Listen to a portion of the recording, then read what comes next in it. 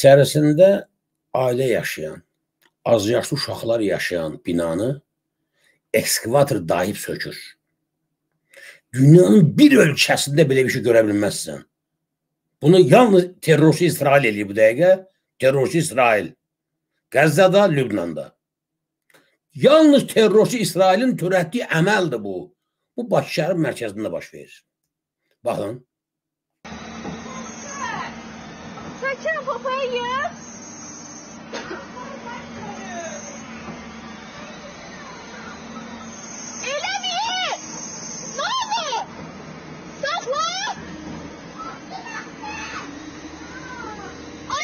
Sakla!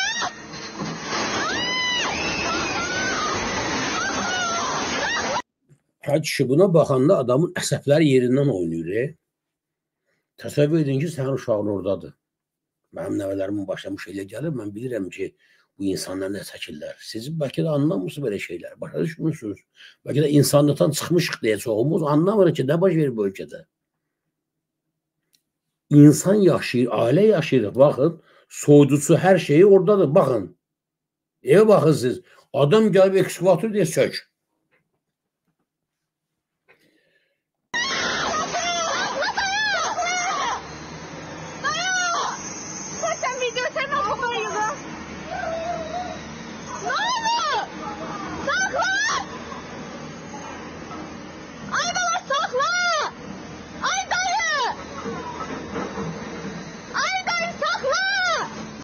Yazı uşaqlar çığırırlar, elə bilirlər ki, o eşidir o daha hayküydə.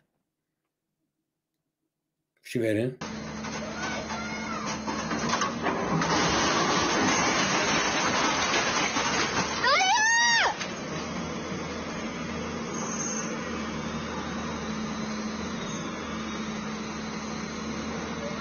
Ay dayı! Sizcə bu kadrı bir normal dövlətdə görən dövlət başçısı, dövlət orqanları nə etmədilər? Xahiş edirəm özünüzü qoyun prezident yerinə ki, bu ölkənin prezidenti sənsən. Ekran oturursan evdə çay içirsən, arvadınla, vitse-prezidentinlə yatmağa hazırlaşırsan. Bir də baxırsan ki, boy belə bir hadisə baş verir ölkədə. İki körpə uşaq da bağırır, ekskavatorla onların evini sökürlər. Evdə insan varsa evi sökürlər. Nə edərsən? Lütfən, hamı öz fikrini yazsın. Bəlkə qandı bu eşşəklər anladılar ki, ölkə idarə etmək nə deməkdir.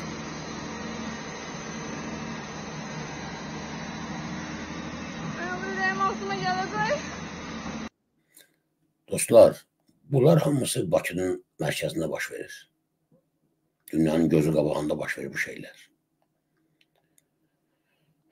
Və biz bu adamlardan güya imdad diləyirik. Mənim vaxtınız xeyir, hörmətli izləyicilər. Mən Göycə rayon sakini Bağırov Filizman Cavadoğlu, ali təhsilliyəm. E, 2008-2014-cü illərdə Göycə rayon Tam Orta Məktəbinin direktoru. Biz Göygöllü qardaşımızın söhbətini sonra verərik. İndi Ərəstun Məzzən gedib. Alo. Salam Qurban bəy. Salam Rəşad bəy. istəyən Salam. müdafiə üçün bütün izləyiciləri salamlayıram. Ee, Qurban bəy, e, bu çağırış yanlışdır ki, bəlkə başa düşdülər, bəlkə düşündülər, bəlkə anladılar. Heç kim heç nə anlayası deyil. Axı dedim mən keçən dəfə. Bu Azərbaycan xalqına qarşı müharibədir. Müharibə. Bizə lazımdır ki, xalq anlasın ki, o döyüş meydanındadır və özü də silahsızdır. Yəni, Onun yeganə silahı bu gün əl-ələ verib, birləşib düşmənə qarşı döyüşməkdir. Sözün həqiqi mənasında döyüşməyi. Sonra deyəcəklər çağırış eləyir, nə bilim nə eləyir. Düşmənə qarşı nə eləyərlər? Çağırış eləyərlər də. yəni, Yəni bilirsiniz, e, bu dəqiqə həmin o tunelləri, o yolları onlara bir əncam çəkmək olar ki, bundan sonra belə şey baş verməsin. Bəs Bakıda tikilmiş binaların axırı nə olacaq? dəhşət onda olacaq. Allah göstərməsin. Həqiqətən Allah bu xalqı çox demirəm, 6 6 yarım bal zəlzələdən qorusun. İnanın ki, inanın ki, harda nə uçsa altında qalan bir adam sağ çıxmayacaq. Çünki çevik iş görmək qabiliyyəti olan dövlət orqanları belə yoxdur. Bax bu hadisə göstərdi. Bəs 10-15 binada İra olsun, hansısa bir faciə baş versə eyni zamanda bunlar nə edəcəklər? Bu gün bir şey lazımdır. Bu gün başa düşmək lazımdır ki, biz hansı şəraitdəyik? Bunun isə cavabı belədir. Biz müharibə şəraitindəyik. Bizə qarşı müharibə aparırlar. Bu qədər olmaz ki, bu tikinti şirkətləri olsun və yaxud hansısa bir sifariş yerinə yetirən şirkətlər olsun. Bunlar insanlara qarşı, bir xalqa qarşı bu qədər qansız olsunlar. Bu normal halda bu mümkün deyil. Çünki bunun içində bir insanı çıxar da. Amma inanın ki, bugün Bakıda tikinti aparmış şirkətlərin bütün rəhbərlərini, sahiblərini yığın, ucdan tutma, edam eləyin. Sonradan araşdırın, görəcəksiniz ki, səhv eləməmisiniz. O dərəcədə bunlar harınlıq, həyasızlıq, azğınlıq, qudurğanlıq eləyiblər bu xalqa qarşı. Hamısı, bunların hamısı quldurdur, bunların hamısı oğrudur, bunların hamısı qaniçəndir. Biz bu gün millətə xitab eləməliyik. Valla o hakimiyyətdə oturanlar heç nə anlamayacaqlar. Onlar tamam fərqli bir dünyada yaşayır. Onların çox komfortlu bir şəraiti var. Onlar bu xalqla heç bir şəkildə ünsiyyətdə deyillər və heç olmaq da istəmirlər. Bu ölkənin başçısı prezident deyil. Gedir bir rayona, 5-10 adamı yığırlar, öyrədilmiş adamları çıxarırlar bunun qarşısına. Bir icra başçısını tərifləyir, biri nə bilim kimi tərifləyir. Bu başdan da öyrədirlər. Əgər bir ölkə prezidenti tədbir görmürsə ki, o icra başçını həmən rədd eləmirsə ki, sən prezidenti aldadırsan, kimi söyrədib özünü təriflətməklə. Onda biz nə gözləyirik? Bunlara çağırış eləməyin nə mənası var? Hanı xalqla ünsiyyət? Hanı o xalqın durumunu obyektiv qiymətləndirmək? Bu gün baxıram kanalların birində adını çəkməyəcəm. Çünki ona görə yox ki, reklam eləməyim. Sadəcə iyrənirəm adını çəkəndə. Üzr istəyirəm hər kəsdən. Çıxardıblar bir təlxəyi müxalifət adına, bir təlxəyi iqtidar adına, bir təlxəyi də güya tərəfsiz adına. Nə edirlər? Azərbaycanda sən demə iqtidar müxalifət dialoqu gedirmiş. Yenə köhnə oyun oynayırlar da. Bu bilirsiniz nəyə oxşuyur? Elə bilin ki, siz iki oğlunuzu götürmüsünüz üçlükdə iki nəsil arasındakı problemi həll edirsiniz. Nəsillər arası söhbət danışıq aparırsınız. Də bu, bu, bu təlxəlik kimə lazımdır, bu artistlik kimə lazımdır? E, kim inanır sizə? Hara inanırlar, nəyə inanırlar, nə qədər bu xalq aldatmaq olar? Qurban bəy, siz ikinci deyirsiniz, nə bilim, o Bəylər Əyyubovun dəstəsi, yol çəkmək, nə bilim, bu, bu işlər Azərsuda 20 milyard pul yeyilib, təsəvvür edirsiniz. Bütün sahələr belədir də, Rəsul bəy. Bütün hansı sahəyə vurursan, bu, bu necə olmalıdır ki? Və, və deyirlər ki, deyirlər ki, 2027-ci ildə içməli su qıtlığı məsələsi həll olunacaqdır. Olunmayacaq, onu da yalan deyirlər. Yenə həmin bu büdcədə, nə bilim, neft fondunda qalan pulları da yeyəcəklər həmin qaydada. Çünki həmin pulların getmə mexanizmi eynidir.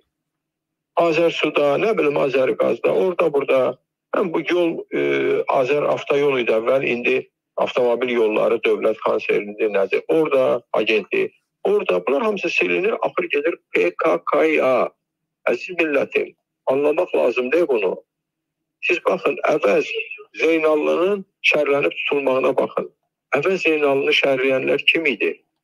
Hı bir avtomobil nəqliyyatı həmin o şirkəti, bir də Qurban bəyin bəyan xatırlatdığı icra hakimiyyətinin nümayəndəsi. Bunların ikisi də PKK-ya bağlıdır.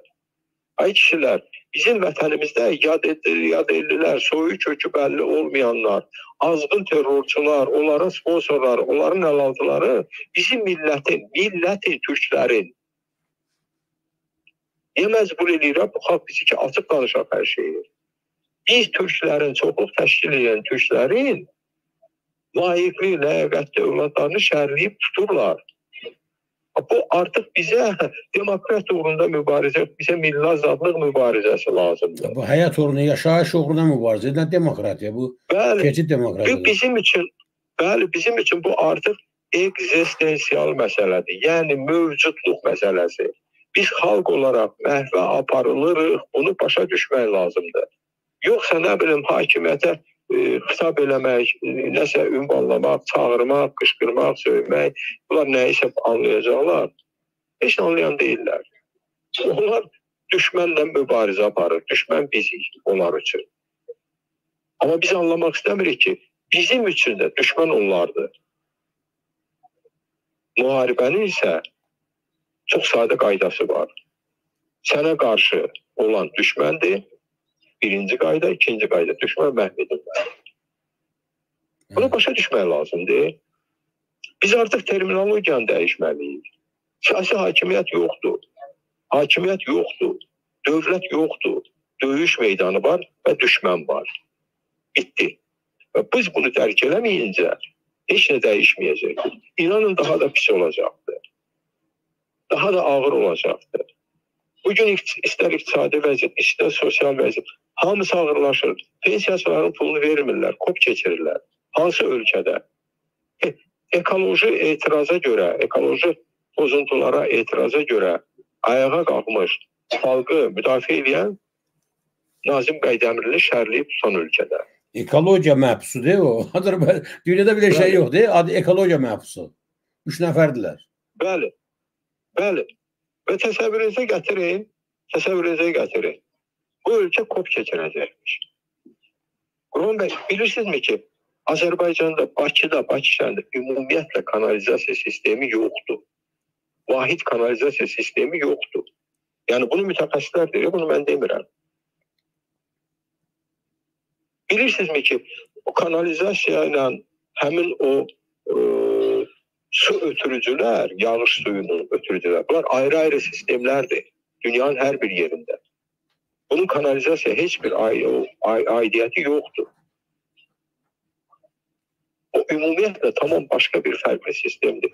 İndi qaldırın sənədləri, qaldırın baxın dövlət sifarişlərinə görəcəksiniz ki, sən demə, bütün o sistem çəkilibdir. Drenaj sistemi təmin olunub. Yəni, milyardlar yeyilib o istiqamətdə. İndi yeni hakimiyyət Biz- yenidən bu işləri görmək üçün o milyardları hardan götürməlidir? Hardan tapacağıq? Ona görə də dostlar, hər yerindən tutub gətirib həbsxanaya soxurlar və pulunu əlindən alırlar. Bunun çox sadə mexanizmi var. bunlara qaşımağa Çox qoymaq olmaz ölkədə. Yəni hətta indiki bir ağır vəziyyətdə də bunlar hansısa addım atmaq istəmirlər. E? İnanın bu gün sokarda elə şeylər baş verir ki, onun başına gətirib o başı jeleli qədələrə tuzdurublar, nə bilim Amerika təsirli, Avropa təsirli.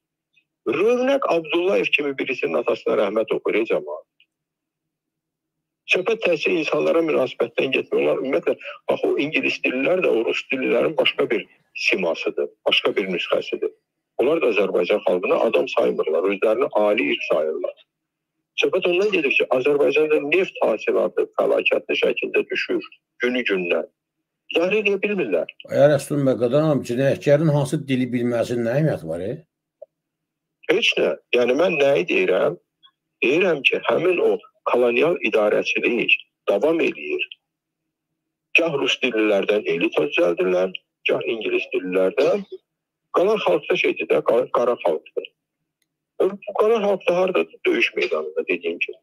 Bunu dərk etməli və biz bunu insanlarımıza çatdırmalıyıq. Təşəkkür edirəm. Minnətdaram. Bəy çox sağ olun, var olun. Sağ olun. Bəy tamamilə doğru deyir.